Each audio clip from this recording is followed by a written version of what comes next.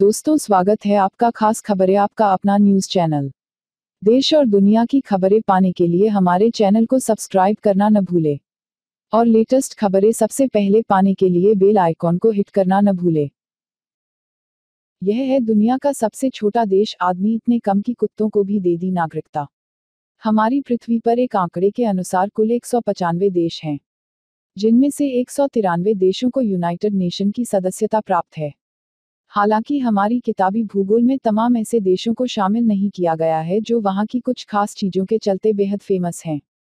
गौरतलब बात यह है कि भारत में चलने वाली सभी भूगोल की किताबों में बच्चों को सिर्फ़ उन्हीं देशों के बारे में बताया जाता है, जो कहीं ना कहीं पैसों के मामले में अधिक समृद्ध हैं।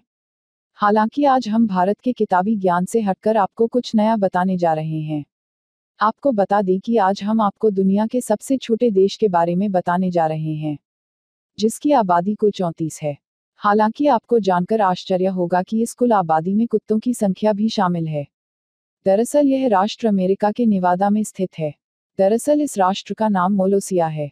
आपको बता दें कि साल 1977 में यहाँ पर रहने वाले केविन बाग और उनके एक मित्र के दिमाग में अमेरिका से हटकर एक नया राष्ट्र बनाने का विचार आया, जिसके बाद उन्होंने गणतंत्र मोलोसिया नामक राष्ट्र की घोषणा की।